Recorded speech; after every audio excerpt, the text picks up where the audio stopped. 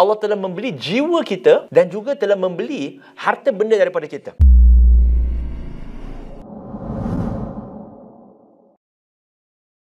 Kerana seseorang itu menjadi duta kepada suatu jenama apabila dia mendapat bayaran. Betul? Maksudnya, saya membeli hak itu. Tetapi ada satu ayat yang dengan jelas Allah Subhanahu Wa Taala menyebut tentang bahawa apakah bayaran untuk anda, untuk kita menjadi duta Islam.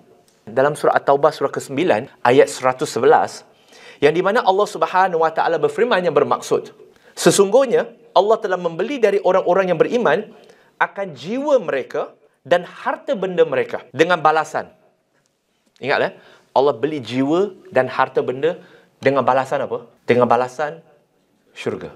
Allah have purchased from the believer their life and their properties and the reward will be paradise. Maksudnya, Allah telah membayar kita dengan untuk kita dapat pergi ke syurga, Allah telah membeli jiwa kita dan juga telah membeli harta benda daripada kita. Apa maksud jiwa kita? Iaitu masa kita, segala keringat kita, harta kita yang kita belanjakan pada jalan Allah Subhanahu Wa Taala dengan ikhlas untuk membantu agamanya. Semua itu bukan milik kita. Semua itu pinjaman dari Allah tetapi bayangkan orang pinjam duit daripada kita tetapi kemudian dia bayar balik lagi kepada kita. Dia tambah lagi kepada kita.